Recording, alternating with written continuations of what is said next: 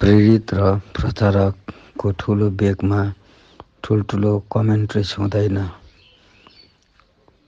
ठुल्ठुलो कमेन्ट्रेस हुँदैन प्रेरित र प्रचारकको बेगमा ठुल्ठुलो कमेन्ट्रेस हुँदैन भन्ने टपिकमा म अगाडि बढ्दैछु।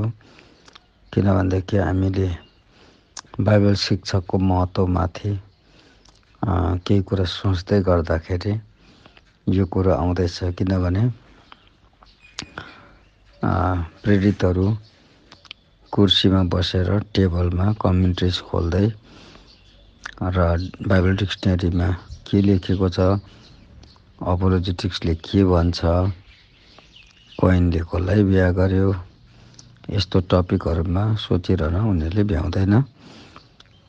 किनभनेदेखि उनीहरू चाहिँ उनीहरूलाई परमेश्वरले नयाँ ठाउँमा नयाँ इलाकामा नयाँ क्षेत्रमा धेरै आत्माहरूलाई बटुलेर परमेश्वरको राज्य ल्याउँदै परमेश्वरको योजना पुरा गर्दै अगाडि बढ्नुपर्ने उनीको जिम्मेवारी भएको हुनाले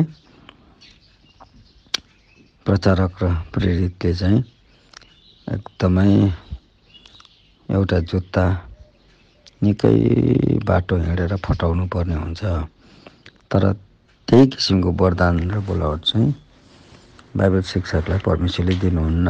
र मेन हाम्रो मुख्य थिम चाहिँ बाइबल टिचर अर्थात् बाइबल शिक्षक बाइबलमा निकै भिजेको मान्छे भएको कारणले हामी अलिकति भिन्नता खोज्न हामी लागि परिगरेका छौँ।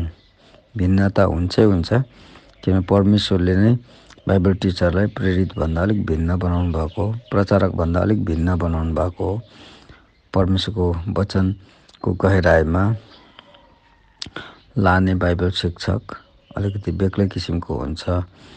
र बाइबल शिक्षक सित चाहिँ लगभग ठुलो पुस्तकालय पनि हुन्छ। र भाषाको आधारमा यदि अङ्ग्रेजी जान्ने हो भने उनीसित अङ्ग्रेजी पुस्तकहरू पनि हुन्छन्। र अङ्ग्रेजी जान्दैनन् भने नेपाली भाषा बोल्ने हो भने नेपाली भाषाका लेखकहरूको विभिन्न थरी थरीका किताबहरू पनि उनले किनेरै भए पनि या किन्नु नसके पनि कतिपल्ट अरू साथीहरूबाट पैँचो ल्याएर पनि उनले लाइब्रेरी बनाउनु पर्ने हुन्छ। किनभने कि उनलाई परमेश्वरले अलग्गै किसिमको टेबल र चौकी कोठा दिएको हुन्छ। अनि धैर्य र धीरजको शक्ति दिएको हुन्छ। धैर्य धारण गर्न सक्ने सामर्थ्य पनि हुन्छ बाइबल शिक्षकमा। किनभने कुर्सीमा बस्दा बस्दा चाक दुख्नु पनि सक्छ।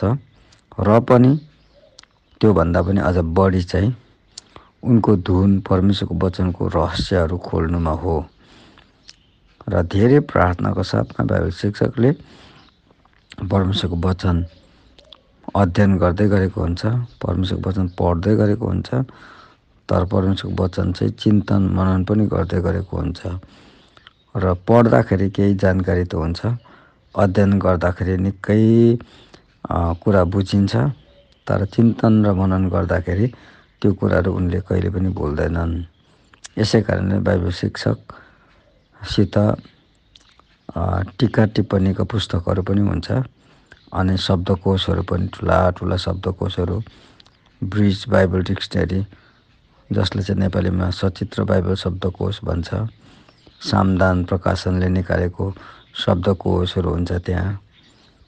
र यसरी विभिन्न शब्दकोशहरू टिका टिप्पणीहरू र अध्ययनका पुस्तकहरू छ्यासठवटा पुस्तकहरूमा प्रभुका दासहरूले धेरै परिश्रमको साथमा अध्ययन गरेर पुस्तक आकारमा निकालेका पुस्तकहरू पनि छन्।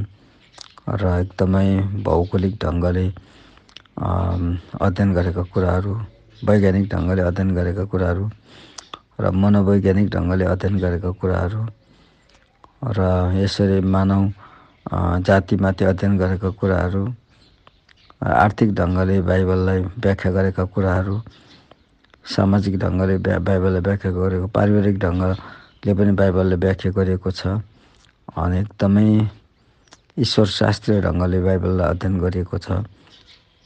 बाइबललाई पारा पाराले हेरिएको कुराहरू त्यस्ता पुस् त्यस्ता थोकहरूमाथि धेरै पुस्तकहरू निस्किसकेको छ। यसै कारणले बाइबल शिक्षकले चाहिँ पास्टरले अगमवक्ताले प्रचारक प्रेरितले भन्दा बढी पढेको हुन्छ पढेको हुनु पनि पर्छ र उसको लाइब्रेरी निकै ठुलै हुनुपर्छ भनेर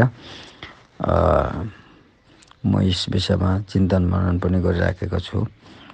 अनि किनभने एउटा भिन्नता आउनै पर्छ नत्र भने बाइबलै नजान्ने मान्छे के को बाइबल शिक्षक हुन्छ त फेरि? तर सबभन्दा मुख्य कुरो चाहिँ परमेश्वर वचनको रहस्यमय कुराहरू प्रकट गर्ने त पवित्र आत्मा स्वयं नै हुनुहुन्छ। यसै कारण प्रभुले भन्नुभएको हो मैले बोलेको वचन चाहिँ जीवन हो मात्रै भन्नु भएन आत्मा हो पनि भन्नुभयो। अर्थात् पवित्र आत्माको सहयोगमा वचनको रहस्यमय कुराहरू प्रकट हुन्छ। र त्यसो हुँदाखेरि बाइबल शिक्षकले पवित्र आत्माको सहयोगमा पवित्र आत्माको टर्च लाइटमा आफूले अध्ययन गर्न चाहेको कुराहरू स्पष्ट हुन सकोस् भनेर पवित्र आत्माको उपस्थिति खोजिराखेको हुनुपर्छको अर्थ बाइबल शिक्षक प्रार्थनाका योद्धा पनि हुन्। प्रार्थनामा बढी समय बिताउँछ उसले तर प्रार्थनाको योद्धा भन्दा पनि बढी प्रार्थनाको साथसाथमा अन्तर्विन्ती गर्दा गर्दै पनि युद्ध गर्दा गर्दै पनि उसले चाहिँ अध्ययनमा नै बढी ध्यान दिने गरेको हुनाले प्रार्थनाको योद्धा र बाइबल शिक्षकमा अलिकति फरकै छ फेरि। र प्रार्थनाको योद्धाले चाहिँ बढी प्रार्थनामा समय बिताउँछ भने बाइबल शिक्षकले चाहिँ प्रार्थनाको साथसाथमा परमेश्वरको वचनको रहस्यमय कुराहरू एकुरेटली ल्याउने कुराहरूमा धुन लगाएको हुन्छ र परमेश्वरले सहायता गरून्। हाम्रो माझभित्र पनि बाइबल शिक्षकहरू सक्लो बाइबल शिक्षकहरू जन्मे जन्मेको होस् भनेर प्रार्थना पनि हामी गर्दछौँ र खोज्दै पनि जाँदैछौँ र चिन्दै पनि जाँदैछौँ परिचय लिँदै र जिँदै पनि जाँदैछौँ अनि आफ्नो बोलावट बुझ्ने कुराहरूमा एकदमै निकै लामो गम्भीरताको साथमा सोच्न पनि लागेका छौँ। सोच्न पनि लगाउँदैछौँ।